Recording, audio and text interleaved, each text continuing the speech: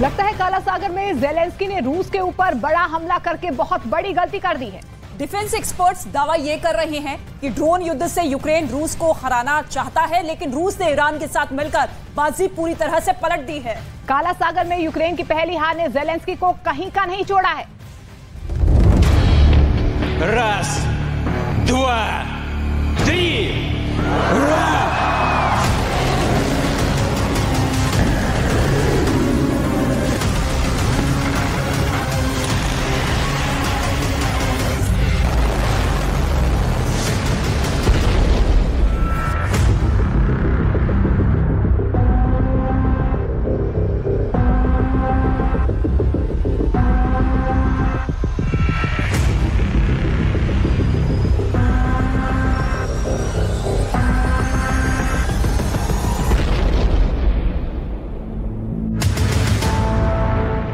पंद्रह महीने बाद काला सागर में यूक्रेन की पहली हार हो गई है। आखिर यूक्रेन के पहले सबसे आत्मघाती हमले को पुतिन की समुद्री सेना ने कैसे मात दे दी है?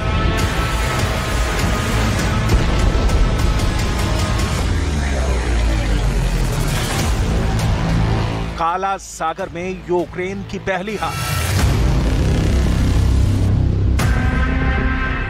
रूसी रक्षा मंत्रालय के लिए काम करने वाले ज्वेजदा टीवी चैनल के फुटेज में इस आधार पर दावा किया जा रहा है कि यूक्रेन के 300 आत्मघाती समुद्री ड्रोन में से हमले करने वाले तीन समुद्री ड्रोन को मार गिराया गया है। तीन मार दिए गए 300 मरने वाले।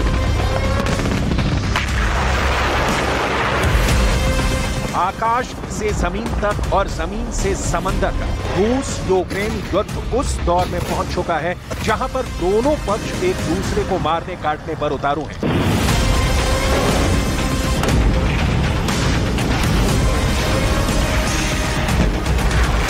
ड्रोन हमले शुरू से ही रूस, यूक्रेन जंग का ऐसा बेमिसाल हथियार साबित हुए हैं। ड्रोन हमलों से घातक हमलों की शुरुआत यूक्रेन ने तुर्की के बने टीवी टू ड्रोन से की थी, जिसने शुरू में रूस सेना के टैंक तो और हथियारों को दबा करके रख दिया।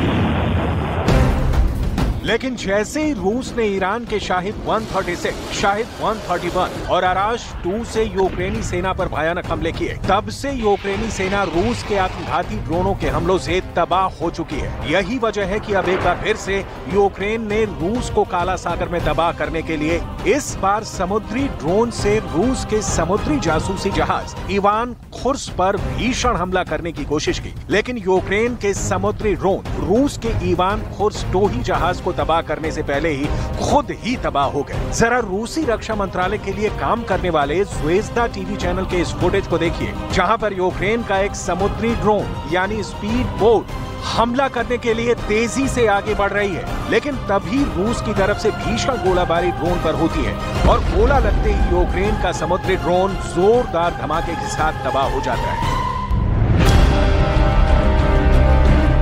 दावा किया जा रहा है कि यूक्रेन के इस आत्मघाती ड्रोन ने दक्षिणी काला सागर में तैनात रूस के जासूसी जहाज़ ईवान खुर्स पर हमला किया था। विस्फोटकों से भरी यूक्रेन की आत्मघाती स्पीड बोट का टारगेट इवान खुर्स था। जहाज़ से टकराने के कुछ सेकंड पहले रूस के जवाबी हमले में स्पीड बोट तबाह हो गई। दावा किया जा रहा है कि रूस की गोलाबारी में स्पीड बोट के अगले हिस्से में लगे विस्फोटक में जैसे ही रूसी गोला लगा, उसमें ज़बरदस्त धमाका हो गया। खबर के मुताबिक रूसी जहाज़ पर हमला दक्षिणी काला सागर के बोस्फोरस स्ट्रेट इलाके में 40 समुद्री मील दूर सुबह साढ़े पाँच बजे हुआ है। दावा किया गया कि रूस का जहाज़ पोत तुर्की के समुद्री इलाके में पाइपलाइन के बुनियादी ढांचे की रखवाली कर रहा था जिस वक्त उस पर हमला करने की कोशिश हुई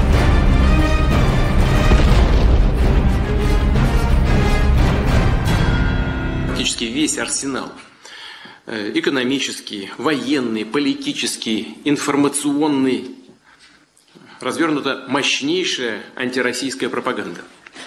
Атаки на нашу историю, культуру, духовные ценности не прекращаются.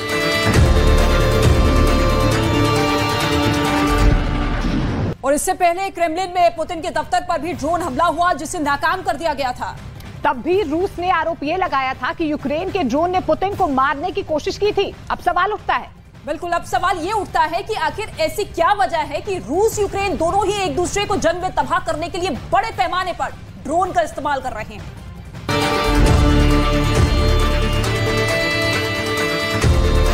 काला सागर में यूक्रेन की पहली हार। हम आपको आगे बताएँगे कि समंदर में रूसी जहाज़ पर आत्मघाती हमला करने वाली यूक्रेन की स्पीड बोट को क्यों बेहद खतरनाक बताया जा रहा है? लेकिन उससे पहले ये जान लीजिए कि पिछले 30 से 40 दिनों में अचानक ड्रोन हमलों की बाढ़ क्यों आ गई है? इससे पहले क्रेमलिन में पुतिन के दफ्तर पर भी ड्रोन हमला हुआ था, जिसे नाकाम कर दिया गया था। तब भी रूस ने आरोप लगाया था कि यूक्रेन के ड्रोन ने पुतिन को मारने की कोशिश की थी। अब सवाल उठता है कि आखिर ऐसी क्या वजह है कि रूस और यूक्रेन दोनों ही एक दूसरे को जंग में तबाह करने के लिए बड़े पैमाने पर ड्रोन का इस्तेमाल कर रहे हैं इसका सीधा सा जवाब कम पैसे कम जोखिम में दुश्मन का जबरदस्त नुकसान На Солидарском тактическом направлении противник вчера провел наступательные действия на всей линии боевого соприкосновения сторон протяженностью более 95 километров. Подразделениями вооруженных сил Украины было предпринято 26 атак, в которых были задействованы более тысячи военнослужащих, до 40 танков, а также другая военная и специальная техника. पंद्रह महीने से ज़्यादा की जंग में पुतिन के रूस ने यूक्रेन की धज्जियाँ उड़ाकर रख दी हैं। पूर्वी यूक्रेन के बड़े इलाके में रूसी सेना भूखे भेड़ियों की तरह यूक्रेन की सेना पर टूट पड़ी है। दावा किया जा रहा है कि रूस अब तक यूक्रेन के 30 फ़ीसदी इलाके पर कब्जा कर चुका है। इस वक्त रूस यूक्रेन को सात तरह से तबाह कर रहा है, जिसमें ईरानी हथियार, रूस के लिए वरदान साबित हुए हैं। अब तो हालात ये हो गए हैं कि रूस के हमलों से बचने के लिए यूक्रेन की सेना स्टील के पिंजरों का इस्तेमाल कर रही है। हम आपको बताते हैं कि जो हथियार यूक्रेन को नाटो और अमेरिका से मिले हैं, वो कैसे रूस और ईरान के आत्मघाती ड्रोन का बुरी तरह से शिकार हो रहे हैं? और क्यों अब यूक्रेन हथियारों को बचाने के लिए स्टील के पिंजरों का इस्तेमाल कर रहा है? काला सागर में यूक्रेन की पहली हार।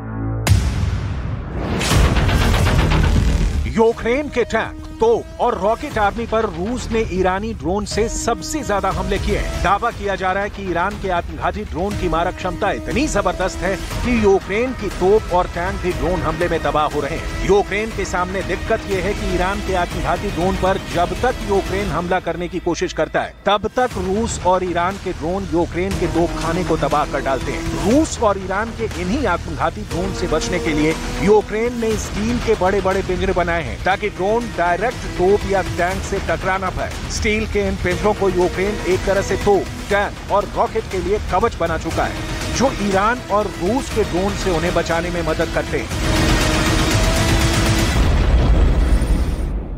Средствами противовоздушной обороны в течение суток перехвачены 7 противорадиационных ракет «Харм», одна крылатая ракета большой дальности «Storm Shadow», а также 10 реактивных снарядов систем залпового огня «Хаймарс».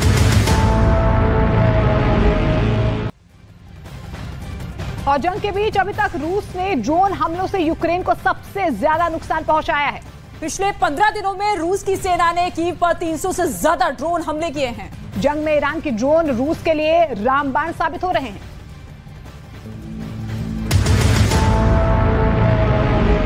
रूस के ताबड़तोड़ ड्रोन हमलों को देखते हुए ही अब यूक्रेन ने भी रूस पर ज़बरदस्त ड्रोन हमले करने शुरू कर दिए हैं। यही वजह है कि दक्षिण काला सागर में रूस के जासूसी जहाज़ पर यूक्रेन के समुद्री ड्रोन ने हमला किया। अब आप ये भी जान लीजिए कि रूसी टोही जहाज़ इवान खुर्स पर हमला करने वाला यूक्रेनी ड्रोन कितना खतरनाक है।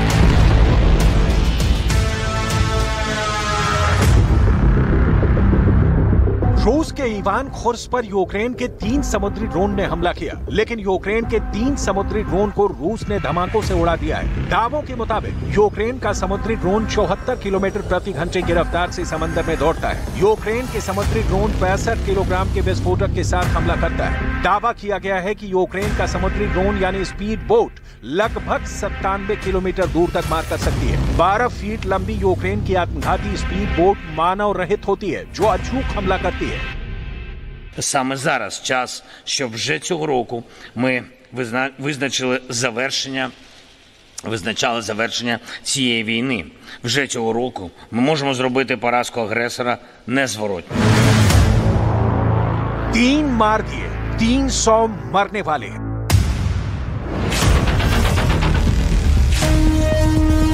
ज़मीन, आकाश और समंदर, हर तरफ़ से ड्रोन हमले हो रहे हैं। अभी तक रूस ने ड्रोन हमलों से यूक्रेन को सबसे ज़्यादा नुकसान पहुँचा है। पिछले पंद्रह दिनों से रूस की सेना ने यूक्रेन की राजधानी कीव पर 300 से ज़्यादा ड्रोन हमले किए हैं। ईरान के ड्रोन रूस के लिए रामबाण साबित हो रहे हैं। हम आपको ये भी बताएँगे कि रूस और ईरान के कौन से ड्रोन यूक्रेनी हथियारों के लिए काल बन चुके हैं। लेकिन उससे पहले ये भी जान लीजिए कि इस वक्त रूस यूक्रेन की सेना को कहाँ कहाँ तबाह कर रहा है। एक तरफ़ दो लाख से ज़्यादा रूसी सैनिकों के मारे जाने के बाद से पुतिन जंग को जल्द से जल्द जीतने की कोशिश में भयानक जंग करने पर उतारू है। तो वहीं दूसरी तरफ़ जेलेंस्की, अमेरिका, ब्रिटेन, जर्मनी और फ्रांस समेत नाटो के 31 देशों के दम पर रूस के साथ साथ रूस के दोस्तों को तबाह करने में जुटे हैं। लेकिन यूक्रेन में चल रहे मौजूदा हालात को देखकर ऐसा लग रहा है कि रूस यूक्रेन को हरा देगा, क्योंकि यूक्रेन को अभी तक उतने घातक हथियार नहीं मिल पाए हैं जितने उसे जंग जीतने के लिए चाहिए। और इसमें सबसे बड़ी रुकावट कहीं ना कहीं ईरान बन रहा है, जो यूक्रेन को सप्लाई होने वाले हथियारों पर कड़ी नज़र रखे हुए है। पुतिन के लिए ईरान फरिश्ता बनता जा रहा है। काला सागर में यूक्रेन की पहली हार। इस वक्त ईरान ने अपने हथियारों के बंकर पूरी तरह से रूस के लिए खोल दिए हैं। ईरान के टॉप जनरल चुन चुन कर ऐसे हथियार रूस को भेज रहे हैं जो अमेरिका और नेटो के हथियारों को तबाह कर रहे हैं। अमेरिकी मीडिया के मुताबिक, ईरान ने कैस्पियन सागर के रास्ते रूस को बहुत बड़ी संख्या में हथियार, गोला बारूद गुप्त तरीके से पहुँचा दिया है। पश्चिमी मीडिया को खुफिया सूत्रों से पता चला है कि ईरान रूस को अब तक पाँच आत्मघाती ड्रोन दे चुका है। तो वही दस करोड़ गोलियाँ और तीन लाख बम ईरान से रूस पहुँच चुके हैं। पश्चिमी मीडिया के दावों के मुताबिक 2000 से ज़्यादा ईरान के शाहिद 136 यूक्रेन पर हमला कर चुके हैं। वहीं रूस के लैंसेट थ्री कामिकाजे ड्रोन ने भी यूक्रेन के हथियारों को तबाह कर डाला है। रूस के लैंसेट थ्री कामिकाजे ड्रोन और ईरानी ड्रोन ने मिलकर यूक्रेन के 45 फीसदी तोपखाने को तबाह कर डाला है लैंसेट थ्री के बारे में दावा किया गया है कि इसने अमेरिका की M triple seven light weight howitzer तोपों को उड़ा दिया है यहाँ तक कि अमेरिका की M one zero nine Paladin बंदूकें भी लेसन थ्री कामिकाजे ड्रोन के हमलों में तबाह हो रही हैं